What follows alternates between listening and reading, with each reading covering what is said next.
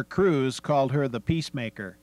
In nearly 10 years of frontline service, this remarkable strategic bomber, largest ever built for operational use, did not drop a bomb or fire a shot in anger. She was the U.S. Air Force's consolidated B 36. In early 1941, almost the whole of Europe had fallen to Hitler's blitzkrieg.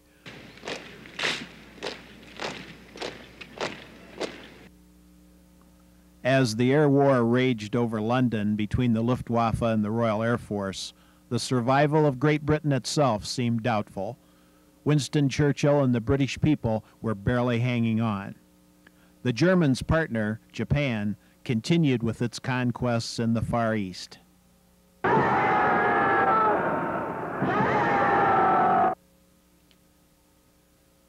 The United States had to face the possibility that in case of war with the Axis, only bases in America would be available from which to strike the enemy.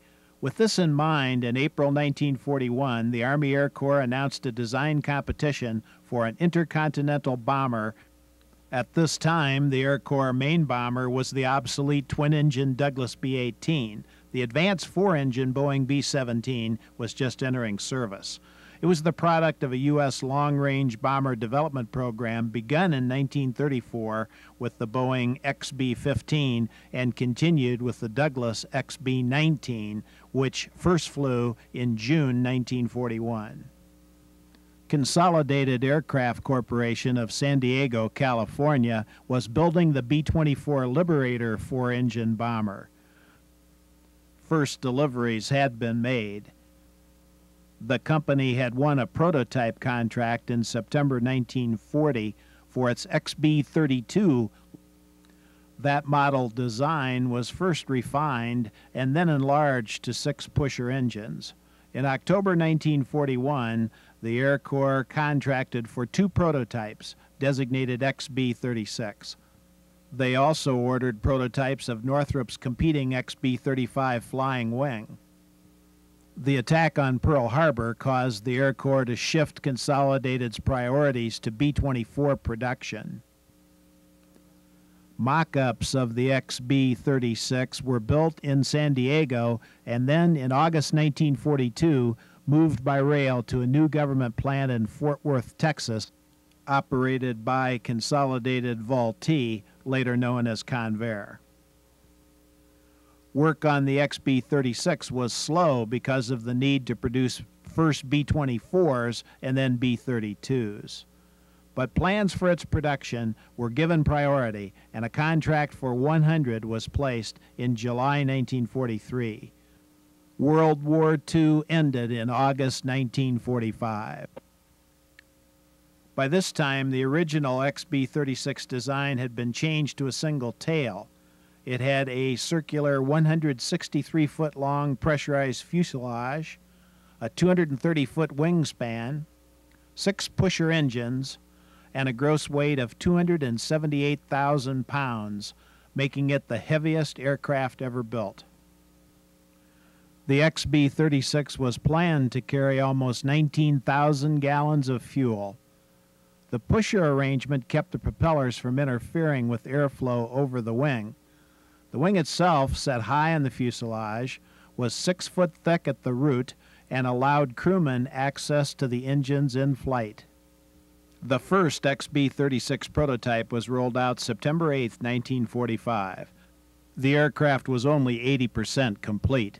The Pratt & Whitney R4360 engines still had to be tested and mounted, along with their 19 foot diameter Curtiss props, Post war U.S. air strength declined dramatically. Aircraft and air personnel of the Army Air Forces were speedily demobilized in great numbers.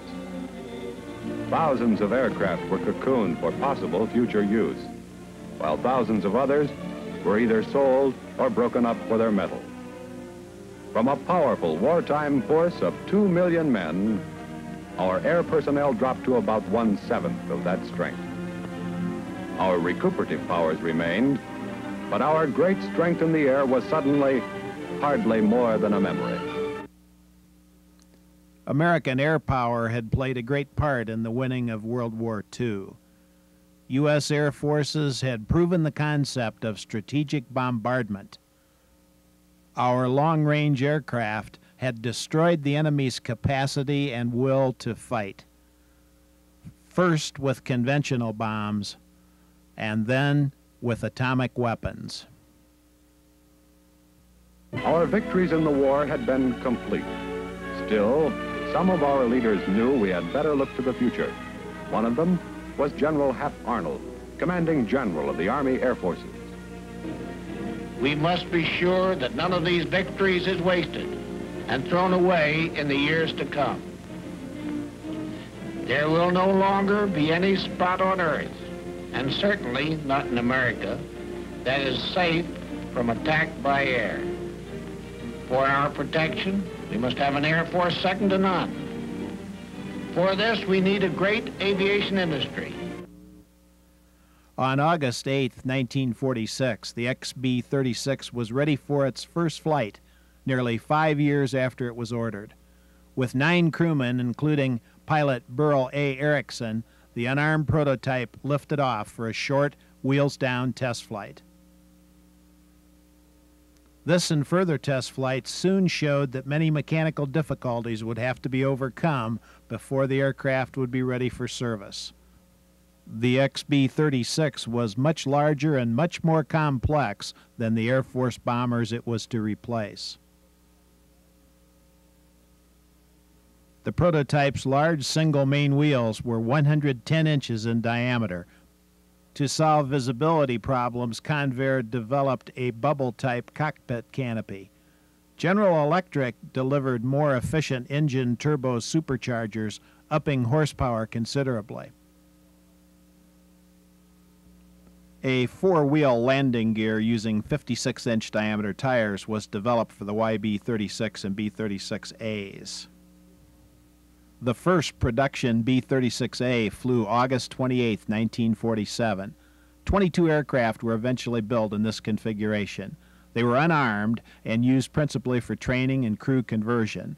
The first B 36As began to be delivered to the 7th Bombardment Wing of the Strategic Air Command, SAC, at Carswell Air Force Base.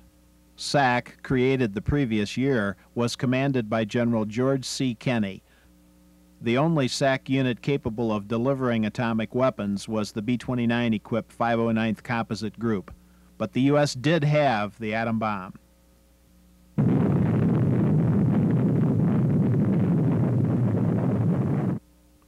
Since the end of World War II, relations between the United States and the Soviet Union had grown increasingly tense.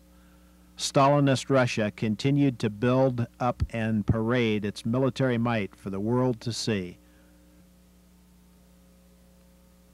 America and the West could only look on with dismay as the Cold War deepened following communist takeover after takeover. With World War II B 29s as the backbone of its strength, and with insufficient manpower, overseas bases, or equipment, the Strategic Air Command was hardly the powerful force to deter aggression that its founders envisioned it to be. But like the rest of the Air Force, SAC had to make do until its new B 36s, a truly intercontinental modern long range bomber, could become operational. The second prototype, the YB-36 was ready to be rolled out of Convair's assembly building at Fort Worth in the fall of 1947. Except for its single-wheel main gear, the YB was identical to the A's following it off the line. President Truman authorized creation of the Air Force as an independent branch. W. Stuart Symington became first Secretary of the Air Force, and General Carl Spaatz was named Chief of Staff. As the U.S. Air Force came into being, development of the B 36 became synonymous with it. The B 36 was by far the largest item in its budget. The first 95 production models had been ordered at a unit cost of over $6 million, and the total program cost was estimated at over a half billion dollars. The second prototype, designated YB 36, was completed. Convair test pilot Erickson took it into the air for the first time December 4, 1947. With the faster B 50s and the all jet B 47s now in service, critics of the expensive Peacemakers argued that it should be canceled. But production of B 36As continued at Convair Fort Worth. A B 36C design with variable discharge turbine engines had been proposed, but when it became clear that it would be slower than the B 36B, the B 36C project was dropped. Suddenly, the Soviets reacted, clamping a blockade on all land traffic to and from Berlin. The date, June 22, 1948. The isolated city was cut off by land from West Germany. As B 36As were completed and accepted at Fort Worth Army Airfield, now known as Carswell Air Force Base, they were sent to Tinker Air Force Base Modification Center, Oklahoma. Tinker became a major B 36 supply and maintenance center. The 7th Bomb Wing of SAC's 8th Air Force, based at Carswell, was to be the first unit to receive B 36s. 8th Air Force commander was Brigadier General Roger M. Ramey. Lieutenant Colonel John D. Bartlett was project officer. Carswell soon became a hub of activity as the men of the 7th began learning how to operate the B 36.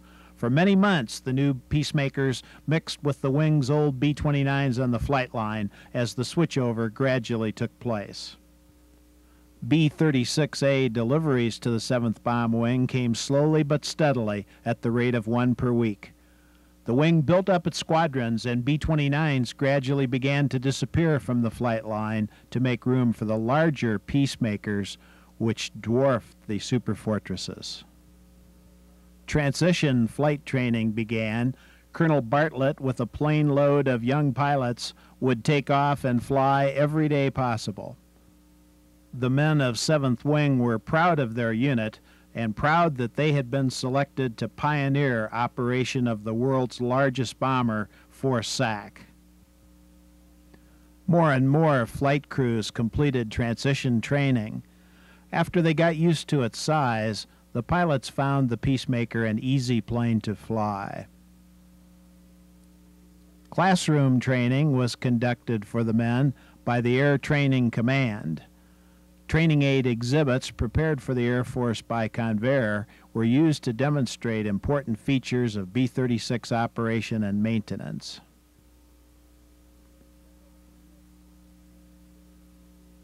General Hoyt S. Vandenberg, the new Air Force Chief of Staff, and his top generals reviewed the controversial B 36 program.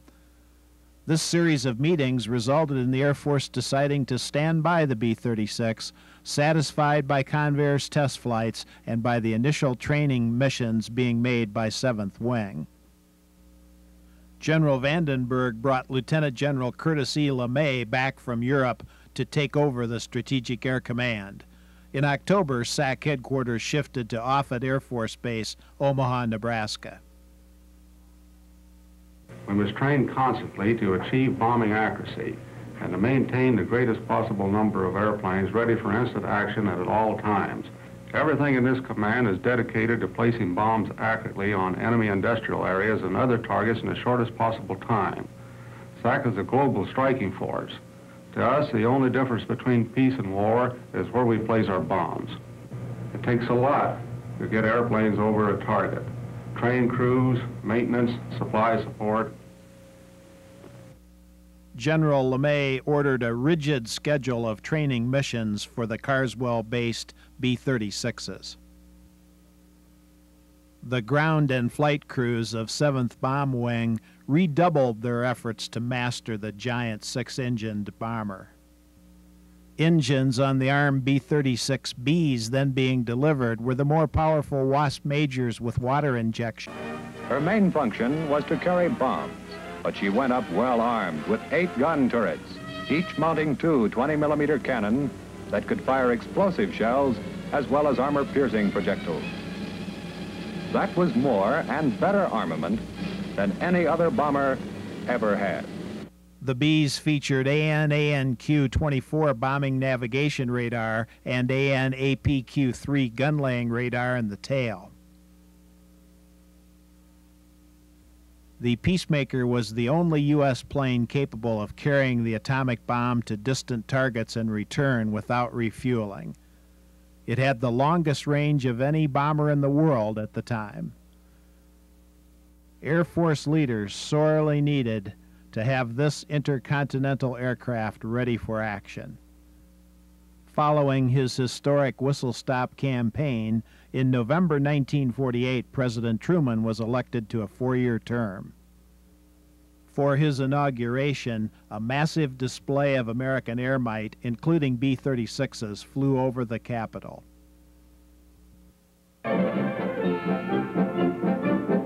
President Truman attends the Air Force's demonstration of progress in air power at Andrews Field, Maryland. He sees the latest in aerial weapons. Once he inspected planes as head of the Wartime Truman Committee. Now he's the commander-in-chief of the world's largest air force. With Air Force General Hoyt Vandenberg, the president watches the takeoff of the Flying Wing, the ultimate in bombers.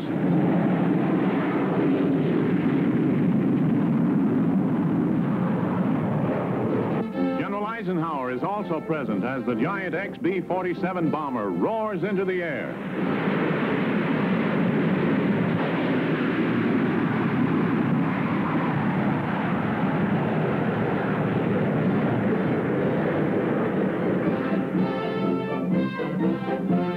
Overhead, a formation of jet fighters and squadrons of heavy bombers. American progress in air power. At Carswell, 7th Bomb Wing had been reorganized and a 7th Bomb Group reactivated. The 11th Bomb Group had been reactivated and assigned to the wing as the 2nd B 36 outfit. Colonel Bartlett made headlines with a spectacular 9,600 mile round trip flight. Some B 36Bs appeared with painted tails and wingtips. Nicknamed red tailed beauties, they were marked for Arctic test visibility. From Washington, the barrage of criticism against the B 36 had grown furious by mid 1949. Inter service squabbling at the Pentagon had grown vicious. Certain Navy admirals called the B 36 a sitting duck, a billion dollar blunder, too slow to evade the new Russian MiG 15 jet interceptors. The Air Force generals retorted that the supercarriers the Navy wanted would be easy targets for enemy submarines and land based bombers. A congressional investigation of the entire B 36 program was ordered. The hearings also addressed charges of political favoritism against Defense Secretary Louis Johnson, who had served on Convair's board of directors. But the B 36 survived the investigation.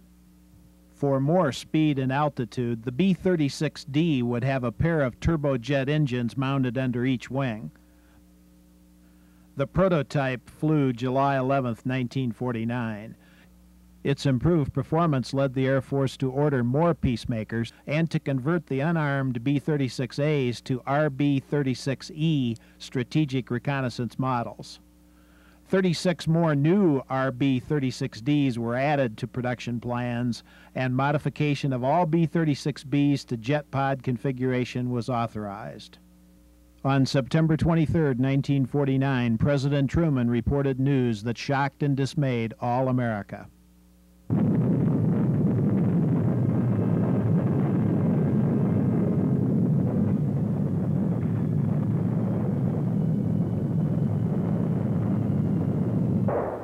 President Truman's dramatic announcement that Russia had the atom secret caused State Departments all over the world to stir uneasily. At the United Nations, Soviet Representative Andrei Vyshinsky refused to comment and stalked coldly into the assembly building. The grim vision of an atomic war, which would leave complete desolation in its wake, is a problem that deeply affects nearly all deliberations of the International Forum. John Q. Citizen wonders what happens now. At Carswell, the two SAC B 36 groups were now under even more pressure to prove the big six engine long range bomber's capabilities.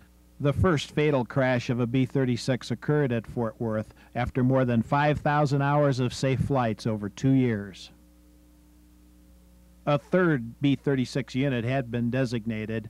The 28th Strategic Reconnaissance Wing, based at Rapid City Air Force Base, South Dakota, began receiving B 36Bs.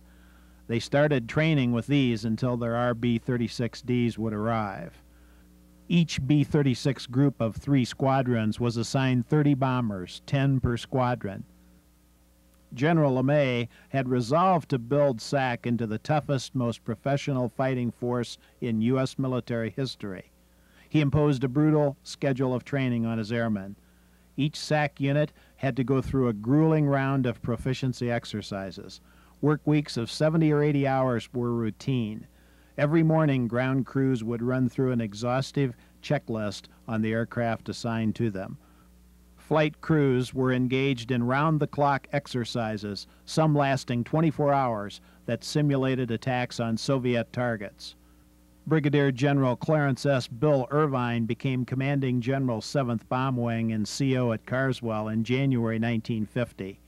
More training missions to Ladd Air Force Base, Fairbanks, Alaska were flown in February to test the B 36 under severe winter conditions. The Cold War with the USSR continued to heat up. Letting the world know that it already possesses the atom bomb has continued its provocations.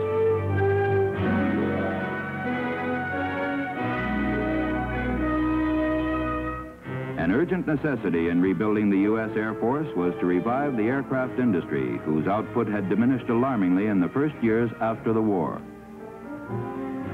By carefully allocating the funds allowed it by Congress, the Air Force was able to distribute initial orders for 2,000 new planes among certain key manufacturers. One of the most famous of the post-war models has been the giant B-36. Peacemaker production accelerated. As they were rolled out, B 36s had to be tilted for the tail to clear the door. Development continued. As an experiment, the XB 36 was fitted with a track type landing gear to reduce ground pressure. But following flight tests, that idea was abandoned. Special pods were mounted on either side of the fuselage of a test B 36. These were the type of pods used to carry spare engines on long distance flights. To distinguish between the two peacemaker groups at Carswell, an identification letter was painted inside the 8th Air Force triangle on tails. A J for the 7th, a U for the 11th. A few crashes of B 36s continued to occur as the SAC combat readiness training schedule went on relentlessly. The first RB 36D was completed and accepted months before the bomber version. It entered service with the 28th at Rapid City Air Force Base, later called Ellsworth Air Force Base. Their aircraft were marked with an S inside the tail triangle. Halfway around the world in Asia, peace was about to be shattered in the ancient land of the morning calm. The uneasy peace that had existed since VJ Day finally flared into war when communist North Korean forces invaded the Free Republic of South Korea, crossing the 38th parallel. They didn't look for any active intervention by the United States or other nations. That was the Reds' big mistake. From Washington, two days after the invasion began, came President Truman's order that American air and sea forces were to go to the help of South Korea. Aircraft of the United States Far East Air Forces were sent at once to operational bases.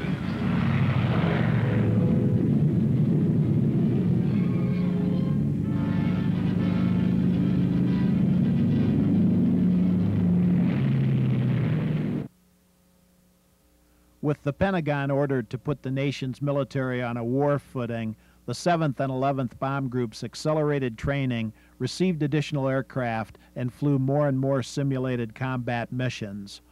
Morale was improving greatly at Carswell. Maintenance and supply problems were starting to diminish. Solutions were being worked out by the men themselves to many of the mechanical difficulties. Reliability of the B 36's systems improved.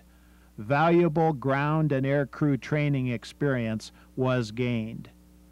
General LeMay's training program made it clear that the responsibility for operating efficiency lay with the airmen. He did not tolerate failure. The general instituted a rating system in which crewmen were carefully evaluated. This is the mighty B 36D, SAC's intercontinental bomber of today. It's higher than a four story house and has a wingspan almost as long as a city block.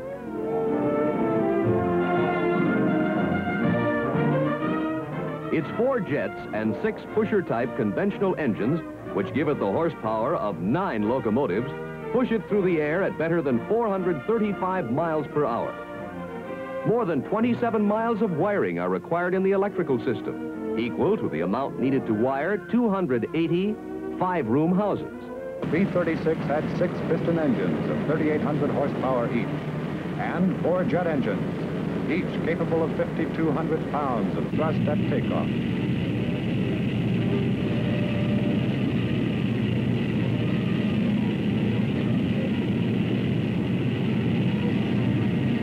The big bomber had a much greater carrying capacity than any other aircraft so far produced. There was room in the four big bomb bays for a 100 500-pound bombs, or when tremendously big ones were needed, the cargo could be two bombs, each weighing 21 tons.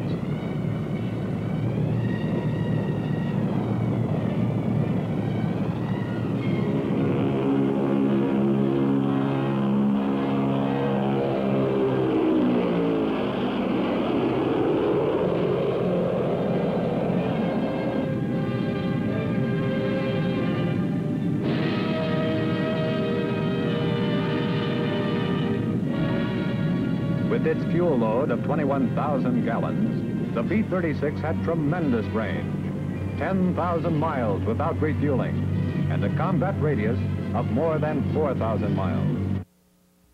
The B-36D carried a crew of 15.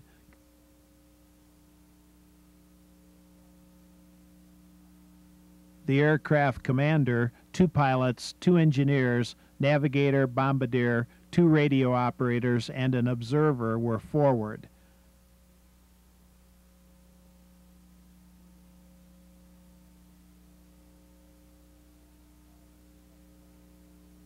Linked by a pressurized tunnel, the rear compartment accommodated five gunners.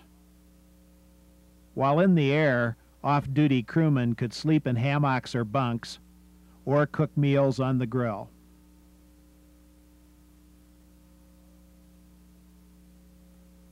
More B-36Ds were being completed at Fort Worth. Snap action bomb doors were introduced on this particular model. The first B to complete conversion to full D standard flew in November 1950. The B-36F, similar to the D, but with more powerful 3,800 horsepower engines, had its first flight. 28 were being built, plus 24 similar RB-36Fs with increased fuel. In spite of the Korean War, SAC continued to demonstrate its capability by sending its bombardment aircraft to other parts of the world. The B-36D was first deployed overseas in January 1951 when 7th Wing aircraft flew to the United Kingdom on a simulated mission lasting more than 24 hours. With bomb bay tanks, the B 36 had an unrefueled endurance of more than 50 hours. More and more B 36Ds, converted from A's or fresh off the factory assembly line, were accepted. Additional SAC groups received the long range bomber. Several 15th Air Force units, identified by their circular tail markings, got the Peacemaker. Ground crew and maintenance men grew more and more proficient in keeping the big B 36s combat ready and airworthy. And deliveries of the RB 36 Recon version picked up. Reconnaissance airplanes are also part of SAC. Their job is to provide pre and post strike data, weather, and other information. The RB 36 is equipped with 14 different cameras one with an enormous telephoto lens. The RB 36Ds also carried extra fuel tanks, flash bombs, and extra ECM equipment. The crew originally consisted of 18 two pilots, engineer, photo navigator, radar navigator, weather observer, radio ECM operator, photographer technician, three ECM operators, a tail gunner, and six relief crew gunners. B 36s were famed for their safety record, but when the big planes did crash, the result was often spectacular. On May 28, 1952, this 11th Bomb Wing B 36F came in too low landing. The fire burned for hours. Happily, most of the crew survived. This B 36F of the 11th had its main gear collapse while parked at Carswell. On September 1, 1952, disaster struck at Fort Worth. A tornado ripped across the flight line at Carswell, knocking out 71 B 36s, almost half of SAC's heavy bomber force. 51 were back in service five weeks later thanks were due to a round the clock effort by consolidated workers and by Air Force ground crewmen and repair personnel. The first B 36Hs had been accepted. Differing mainly in internal details, changes included an improved bombing system, relocation of components, and a completely rearranged flight deck it was announced that the U.S. had detonated a so called thermonuclear device.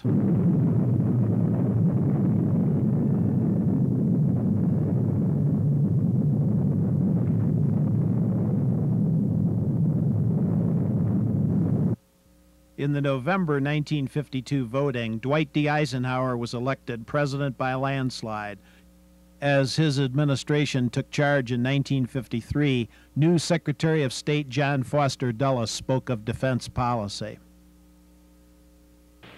Our capacity to retaliate must be, and I assure you it is, massive. The instrument of massive retaliation was to be the B-36 bombers of the Strategic Air Command. They were the first global bombers, kept in the air around the clock. On the power of the B-36s rested the security of the cities of the United States. On the Soviet belief that they would be used rested the deterrence of any Soviet move against the West. Being one of the most complicated engines of war ever built, the B-36 needed a crew of 16 specialists. Every one of them was a man of great experience and skill and they worked together for long periods and achieved a high degree of teamwork. It was an honor to be picked as a member of a B-36 crew, and the men who flew the big bomber came to admire her.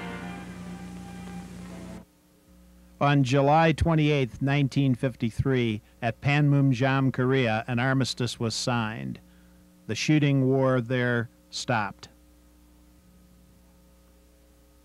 Once again, a watchful, uneasy quiet fell across the 38th parallel. SAC continued to display its range and mobility. B 36s had been deployed to England. The 11th Bomb Wing flew its B 36s to North Africa. Operation Big Stick was the first mass flight of B 36s to the Far East. Aircraft from the 15th Air Force's 92nd Bomb Wing from Fairchild Air Force Base, Spokane, Washington, deployed to Japan, Okinawa, and Guam during August 1953.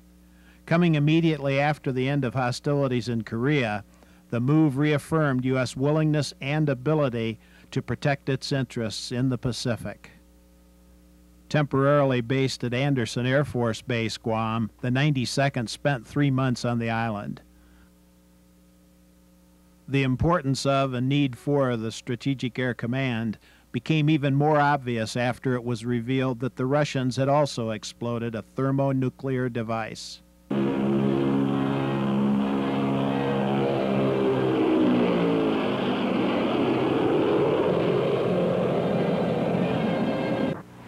Our strategy is based on the assumption that we have a great capacity to counter instantly by means and at places of our own choosing, to make the penalty of aggression certain, prompt, and severe.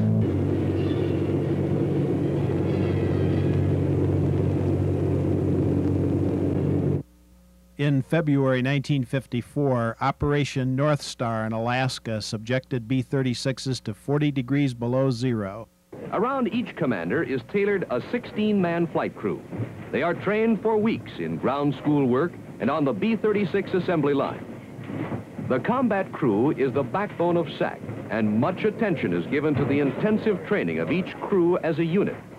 In these days of atomic weapons, one crew and one airplane can destroy an objective which formerly required 300 World War II aircraft launched from forward bases. High order teamwork and complete compatibility is the aim, and SAC crews achieve it with hard, intensive training, long hours, short leaves, and missed holidays. In compliance with 7th Bomb Group, Operations Order 38-50, the 9th Bomb Squadron will drop five bombs on the Sahuarita bombing range. Aircraft will proceed on course to Point Barrow, Alaska.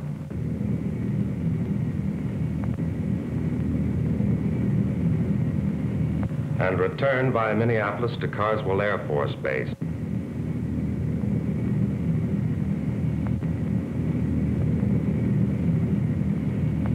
One radar record run will be made over Minneapolis. Predicted length of mission is 29 hours and 16 minutes. Simulated post-strike reconnaissance mission will be flown by the 28th Strategic Reconnaissance Group. And film will be delivered to SAC headquarters. Takeoff time is as listed in the pilot's flimsy, 0900. And specialized briefing.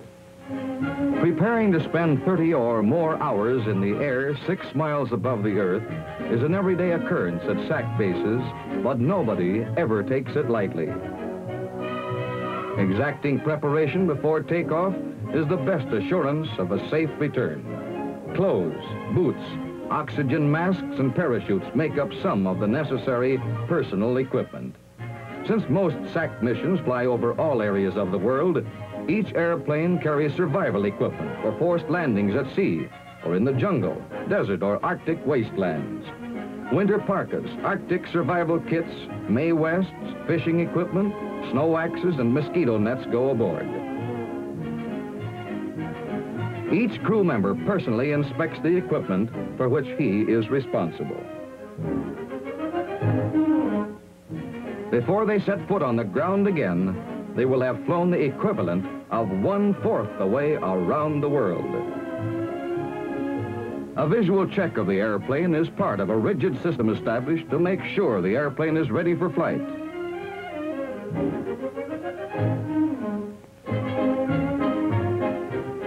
The flight engineers visually check the hydraulic system.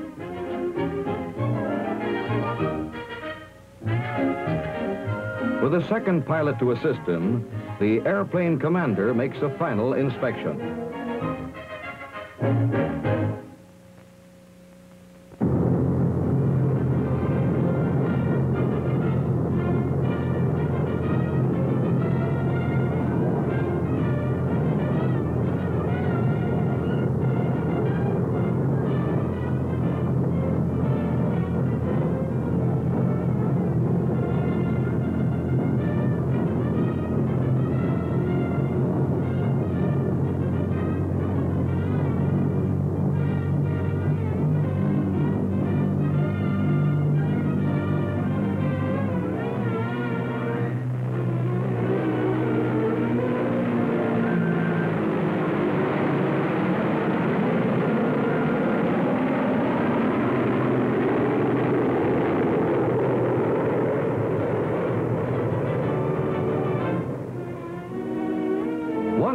Coffee and 15 sandwiches later, aircraft 0643 approaches the Sahuarita bombing range.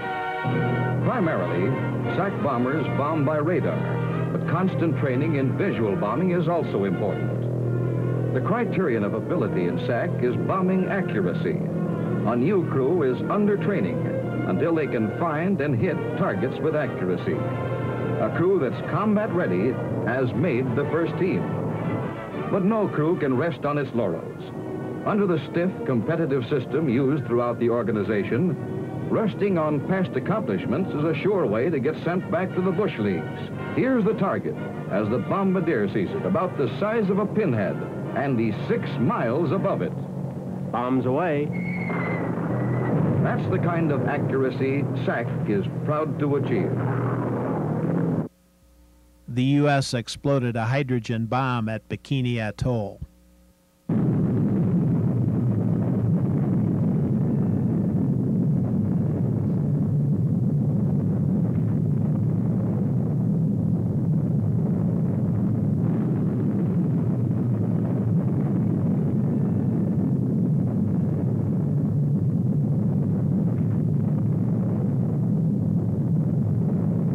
This is the reason for the B 36's existence an airdropped hydrogen bomb.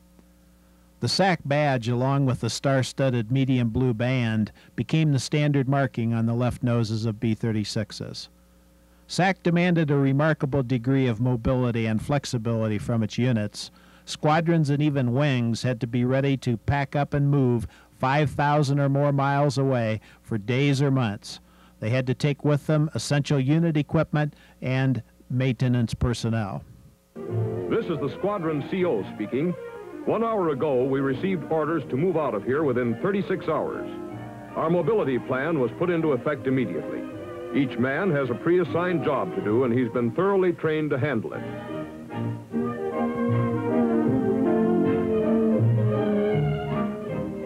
The backbone of SAC mobility is the flyaway kit. The kit for our group is made up of two bins per airplane, plus essential items too large to be placed in the bins. The bins contain spare parts that will be needed to keep our airplanes going for 30 days or 100 hours of combat. When the word comes to go, these bins are moved out of storage for loading.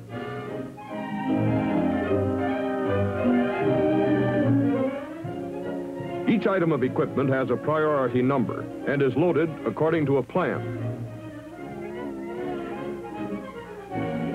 There is also a medical flyaway kit. Some of our airplanes will carry engines, spares in case we need them. Spare engines are quickly hoisted aboard. Military air transport service airplanes arrive to help carry out the move.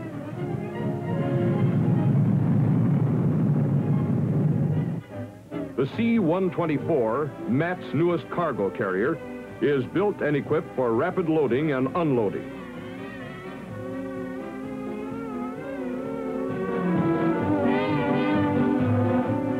A large stock of tools, supplies, and parts is loaded aboard this MATS plane to be flown to the new base.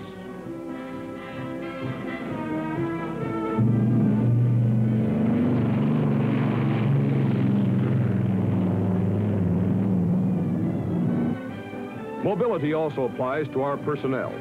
SAC men have learned through experience to keep themselves ready to move on a moment's notice. Peacemaker units continued to fly to Guam for a 90 day rotating deployment. Project Featherweight was a program which reduced B 36 weight to gain more speed, altitude, and range. Class 2 featherweights kept all their guns, but those designated Class 3 had all turrets and fire control systems removed except for the tail guns. The swept wing all-jet Boeing B-47 and RB-47 was now in frontline service with a number of SAC groups. Although considerably faster than the B-36, it did not have the bigger bomber's range or its operational ceiling or load-carrying ability. It could not reach Moscow without refueling. SAC's B-36 strength peaked in December 1954 with 10 wings of 209 B 36s and 133 RB 36s. Fort Worth had completed B 36 production. Total deliveries amounted to 383 aircraft, including the two prototypes. Average cost was $3,776,000 each. The nuclear standoff between the Soviet Union and the U.S. went on. The Strategic Air Command continued to rely heavily on the Peacemaker as its main H-bomb carrier. The prototype B-52 first flew in 1954. By early 1955, the Boeing Stratofortress all-jet heavy bomber arrived in SAC to begin replacing B-36s. Reconnaissance versions of the Buff also gradually replaced the RB-36s. Although delivery of new aircraft had ended, the SAMSAC program, Specialized Aircraft Maintenance Strategic Air Command, returned each B 36 to the latest configuration. This process was to continue for several more years. Throughout 1956, SAC's big stick was still the peacemaker.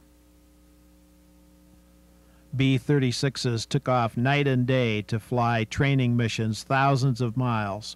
With six turning and four burning, regardless of weather, they headed out to attack American cities under conditions approaching the real thing.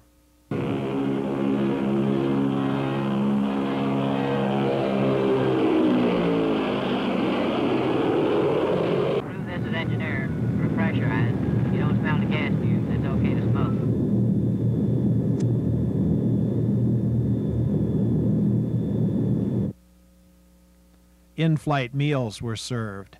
These long peacemaker missions, the airmen joked, were a sure cure for insomnia. The B 36 droned on and on, hour after hour, for thousands of miles.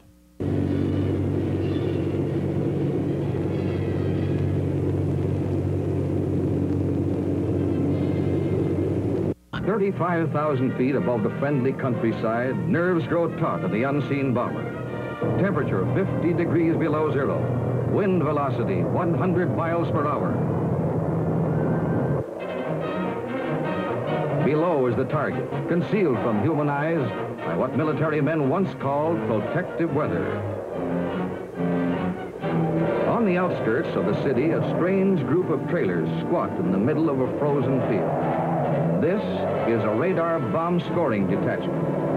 Their job is to determine the accuracy with which the approaching bomber drops its simulated atom bomb. Inside, two men watch their radar scopes.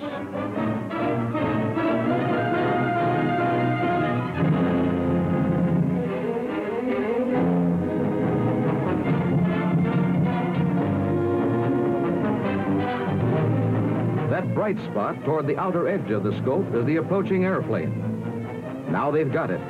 Their job's to stay on it. Ranges and bearings feed automatically from the radar set to bomb plots. When the airplane reaches its bomb release point, it will release not a bomb, but a radio signal. These men will compute the accuracy of the drop. Hello, Minneapolis bomb plot. This is 0643. We are starting a run. Over. Roger, 0643. Cut in steady radio tone signal. Signal stopping indicates bomb release. To the bomber crew in the sub-zero blackness six miles overhead, and to the nation they work tirelessly to protect, this mission is as serious as if they carried an atom bomb above an enemy industrial area. To them, training and the real thing are one and the same, for they're convinced of the importance of their job. Teamwork achieved today will pay big dividends tomorrow. Only an atom bomb in the bomb bay of this airplane is lacking, and that can be loaded if need be. This bomber crew knows that in enemy countries, factories like this supply their forces with weapons of destruction.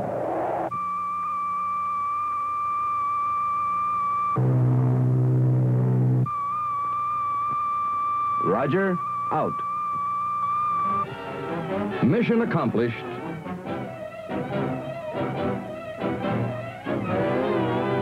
Now to compute the accuracy of the drop. A direct hit. Accidents sometimes happened on these training flights, and airmen were sometimes killed, even if it was peacetime. This RB-36F lost its rudder over Lowry Air Force Base but landed safely. The The featherweight reduction program continued, and so did SAC B 36 practice missions. An airplane commander is usually a seasoned old man of 29 years. For all practical purposes, the airplane belongs to the commander and his crew. When it's on the line, at least one crew member is on hand to see what's being done. Around each commander is tailored a 16-man flight crew. They are trained for weeks in ground school work and on the B-36 assembly line. Taxi outs and takeoffs were timed and executed with great precision. The latest and more powerful model B 36Js equipped most of the SAC Peacemaker groups now. And a combat radius of more than 4,000 miles. Even at great altitudes and at more than 400 miles an hour, the B-36 was a steady flying platform, a stable and accurate bomber over the target. With its speed, armament, and high altitude capability, the B-36 became the Strategic Air Command's Sunday punch. It gave the Air Force one of its best means of winning friends and influencing people. Largely because of this aircraft, the Strategic Air Command was the first military organization in history that could assault the heart of a remote enemy country from stateside bases within hours after the outbreak of a war. The last year a B 36 would win the Strategic Air Command Fairchild Trophy for bombing accuracy was 1956. SAC had become a sharply honed instrument of peace and a successful deterrent to aggression. In 1957, General Thomas S. Power succeeded General LeMay as commander of SAC. Throughout its history, the Peacemaker had inspired a number of experimental designs and modifications. In 1942, the Air Force ordered a prototype cargo plane designated XC 99 with the same engines, wing, and landing gear as the XB 36. It had the largest fuselage ever planned for a land plane, a double deck pressurized structure capable of holding 400 fully equipped troops. The XC 99 was completed and flown on November 24, 1947. No production contract was placed. During the Korean War, the XC 99 was used as a cargo transport. In 1950, two prototypes of a swept wing design with eight jet engines were built, designated YB 60s. After test flights in 1952 showed this proposal to be inferior to the B 52, it was scrapped. FICON Fighter Conveyor was a project intended to provide the B 36 with its own fighter that it would carry into combat. The first such project involved the McDonnell XF 85 Goblin. That didn't work. Convair received a contract for a FICON system to carry and retrieve a Republic F 84 jet fighter. That did work, and Convair received a contract to build these aircraft. Each of the modified B 36s carried an H shaped cradle in its bomb bay lowered to retrieve or to launch the parasite, and raised to relieve the pilot or refuel the aircraft. By the end of 1955, these composites, called GRBs, were in service. Another take along fighter program called Tom Tom had been tried. Parasite F 84 fighters were attached to B 36 wingtips. Tests were successful, but this sort of hookup was extremely dangerous in late 53, Tom Tom was terminated. Between 1953 and 1955, three B 36Hs were modified to carry the Bell Rascal air to ground missile. Another B 36 was modified to serve as a mothership for drop tests of Consolidated's F 106 Delta Dart. A Peacemaker designated the NB 36H was modified to test airborne shielding of personnel and equipment with a small nuclear reactor aboard. The flight crew's compartment was completely shielded from radiation. Test flights were made from 1955 to 1957. SAC's last B 36, which was also the last one built, was retired February 12, 1959, the command becoming an all jet bomber force that day. It is said that the best weapon is the one you never have to use. That was certainly the mighty peacemaker, Consolidated's B 36.